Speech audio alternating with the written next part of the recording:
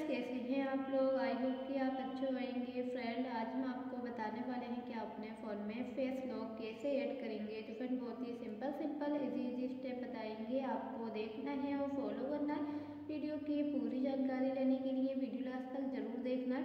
अगर फ्रेंड आपने मेरे चैनल को सब्सक्राइब नहीं किया है तो बेल आइकन दबाइए चैनल को सब्सक्राइब कीजिए।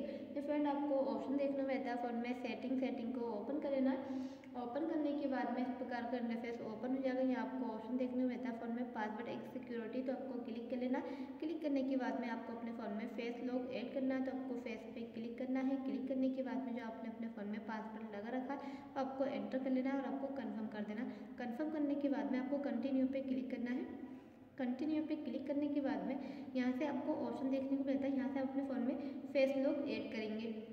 यहाँ पर आपको अपना फेस काफ़ी अच्छे से ड्रॉ कर लेना। तो आई फ्रेंड यहाँ पर आपको अपना फेस काफ़ी अच्छे से ड्रो करना है। तो यहाँ पर आपको अपना फेस अच्छे से ड्रो करना है।